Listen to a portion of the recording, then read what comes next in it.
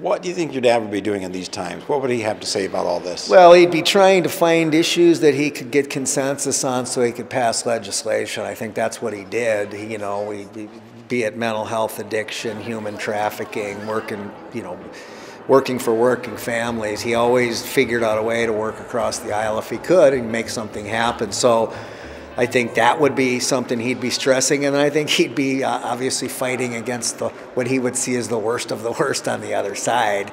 You know, trying to uh, keep some balance. But I think, you know, if you look at things like the Iron Range today, which is now switched, mm-hmm. I think he's still connected with with those folks, and so that's that's the one unique piece that he had. He could come into the inner city. He could work with with folks who lived in the cities, people of color, and go out to greater Minnesota and, and go into the coffee shops and the, the, the working folks up on the range and connect. So he would be connecting with people.